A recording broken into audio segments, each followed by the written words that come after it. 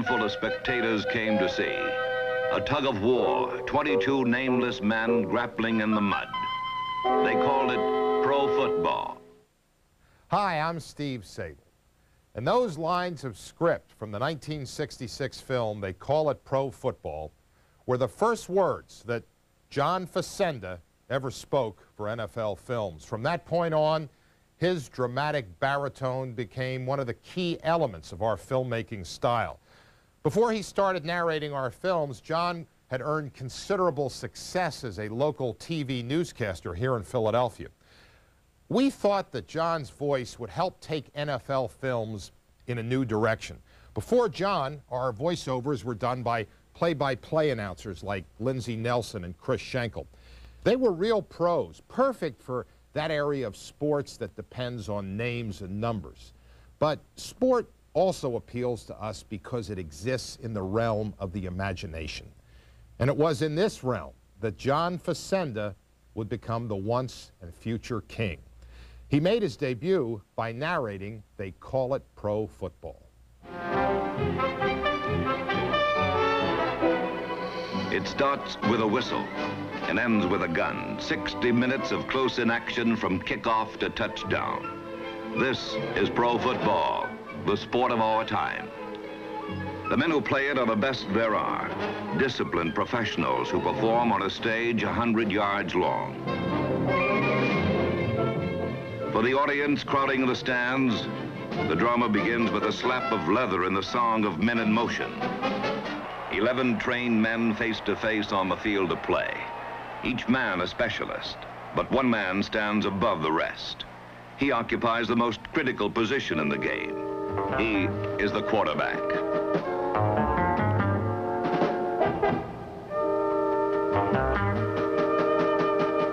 He plots, directs, and executes the on-field fortunes of his team. The quarterback lives in a world of pressure. How well he lives with it and reacts to it determines how good he is.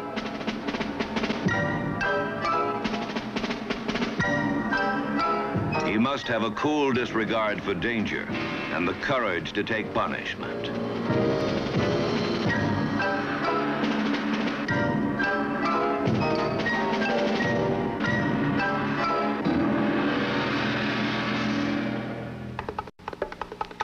The quarterback has two formidable allies.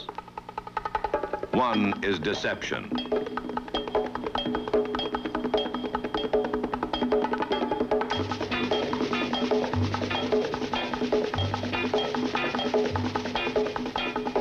By clever faking, he can confuse the defense and open a clear path for the play. His second ally is the forward pass. It's a long bomb.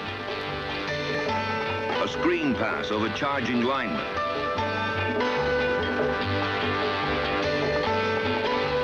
A bullet from the midst of a traffic jam pass in the hands of a pro quarterback is a bolt of lightning that can strike anywhere, anytime.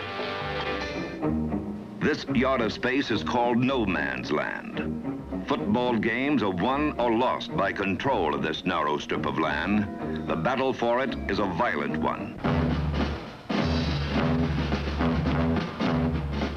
The hands of combat.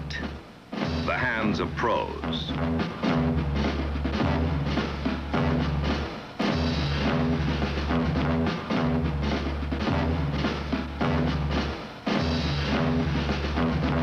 This is the part of the game rarely seen by the spectator. The shattering impact of a block. The mountainous size of an onrushing defender. The splintering force of a forearm shiver.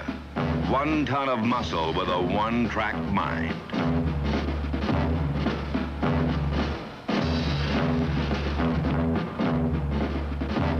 Down in the dirt, the lair of the lineman. This is where the game is played. The fringe of no man's land is patrolled by the linebackers. The search and destroy men of the defense.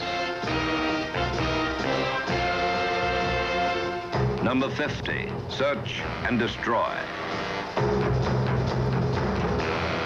Number 58, search and destroy. Sunday after Sunday, pro quarterbacks have learned that whatever play they call, a linebacker is likely to meet it head on.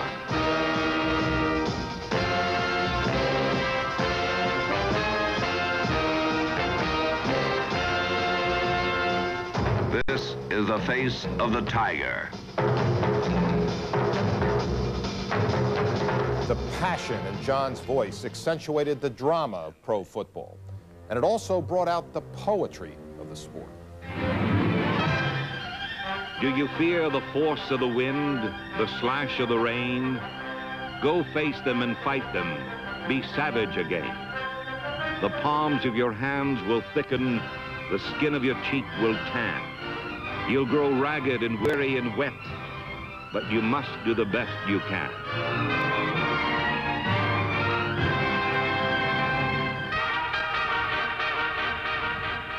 Something somber in the skies. Something somber in the eyes of the men. Late autumn in the air, but something of winter in their faces. The autumn wind is a pirate, blustering in from sea. With a rollicking song, he sweeps along, swaggering boisterously. His face is weather-beaten. He wears a hooded sash with a silver hat about his head and a bristling black mustache. He growls as he storms the country, a villain big and bold, and the trees all shake and quiver and quake as he robs them of their gold. The autumn wind is a raider, pillaging just for fun. He'll knock you round and upside down and laugh when he's conquered and won. John's voice was like a musical instrument. In fact, he saw lines of script as if they were passages in a symphony. He prepared for every narration by making special musical notations in the margins of the script. Now, here's one of John's old scripts, and he's written here the word allegro, which means it should be read in a lively fashion. Now, down here, he's written the word fortissimo, which means forcefully. John was truly NFL film's maestro of myth. And even today, 12 years after he passed away, sportscasters and comedians still love to imitate him. It was like slow motion. It was like those, those films of those NFL films. Joe Montana threw a, you know, perfect spiral over the middle, and Jerry Rice faked out the cornerback. That guy with the Right. ba ba da ba ba da ba ba ba da. That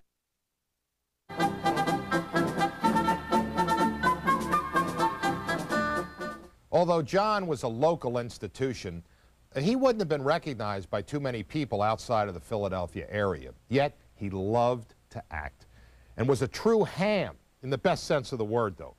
In 1980, we offered John a modest but meaty part that required him to appear in front of the camera instead of behind the microphone. Hello there, I'm John Facenda. You are about to see a sneak preview of a Buffo Sacco big screen blockbuster soon to be released by NFL Films. Let's take a look, shall we?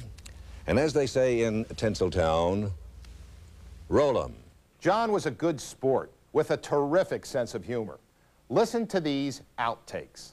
Can I use the word frightfully rather than uh, frightingfully? I'm going to have trouble with that Yeah, one. that is, that's a, that's a tough word. Okay, that's fine, because we still keep the alliteration. Okay, so it's Okay. frightfully instead of frighteningly. I'm glad you said it. Okay. it was fiercely fought, but frightfully blard. Let's take that over again. This name is Hawkins, John.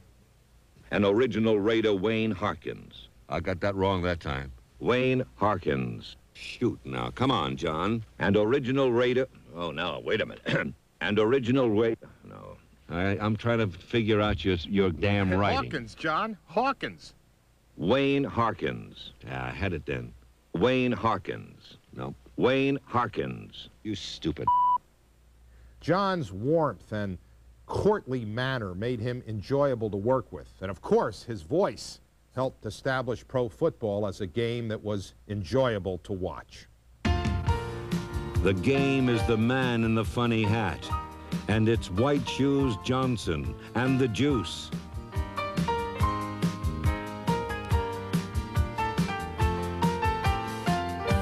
And it's Franco's Army and Brian's song.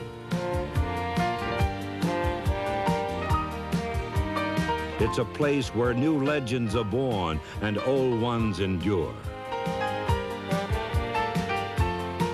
The game is a time warp where the young dream of growing up and the old remember youth.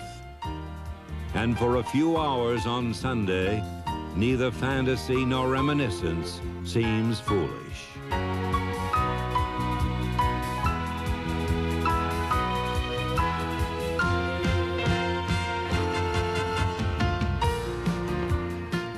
Although we've worked with many fine narrators, it was a special thrill to write a script for John Facenda.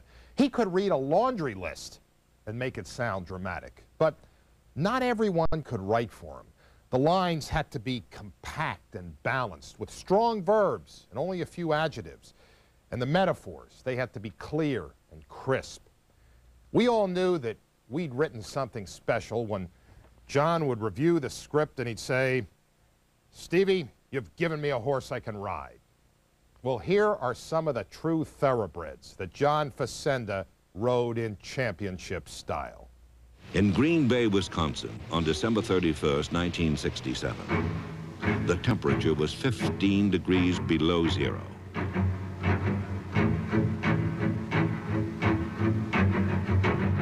Lombardi's Packers and the Dallas Cowboys battled each other and the elements in a cruel rite of manhood that would decide the championship of the National Football League.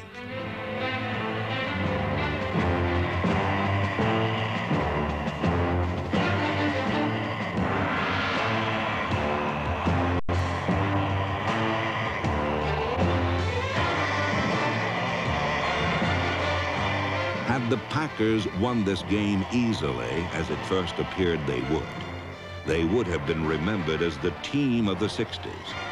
But by winning the game as they eventually did, they became a team for the ages because the character of their performance surpassed the achievement itself. Starr takes the ball, backpedals, looks downfield, flips a short pass, complete to Anderson. He's at the 35. He moves to the 30-yard line, and it will be very close. Trailing by three points with time running out, the Packers drove 68 yards across the frozen field and into legend. He flips the pass. It's complete to Chuck Mercein. He's at the 25, the 20. With only three minutes to play, all the hopes and dreams of an entire season rested on the shoulders of one man, one old pro. One last moment for the master.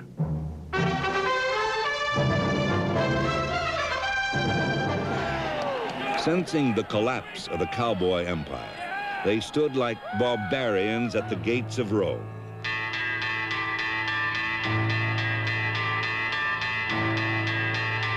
The battering ram of the Eagles was its defense, a unit that consisted of more spit than polish, more grit than glitter.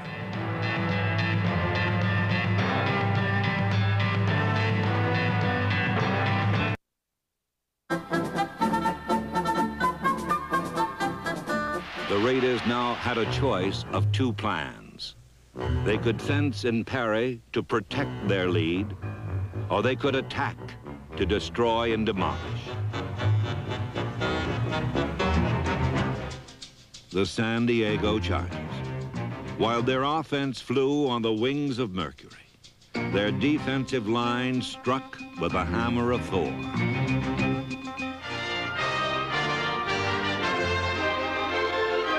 The young knights and the old warriors carved a battlefield in the sky.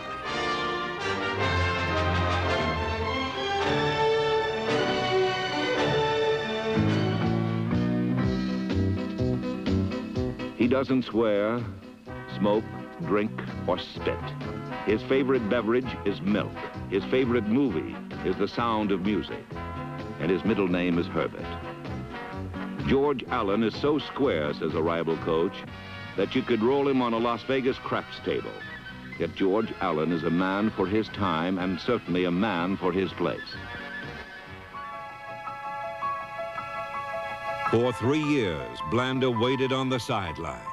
An old soldier, supposedly too ancient for battle, but too stubborn to fade away.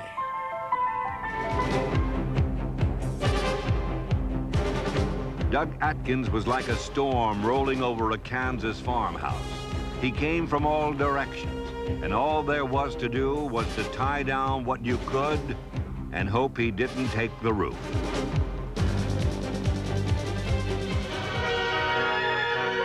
Men of magic, men of muscle, the men of Notre Dame. Wake up the echoes, cheering their names. All right, let's go then. Come on. When John had a horse he could ride, he was at his best coming down the home stretch. No one could ring down the final curtain or raise a goosebump like John Facenda. Here are a few of his most famous final lines. Beneath a giant birch tree, where Father Sorin once sat smoking a peace pipe with the Indians, rest the bones of Knute Rockne. His spirit has yet to be buried. Two teams have gained a champion's fame, two teams of men both skilled and game. Men who have battled as brothers through combat thick and thin, and now they confront each other for a prize only one can win.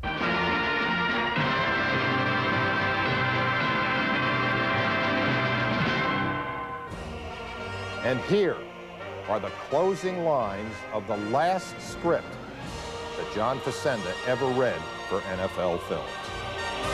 In Super Bowl 18, the Raiders again scaled the heights of football greatness and stood alone on the summit. A team of young men filled with promise and old veterans filled with pride.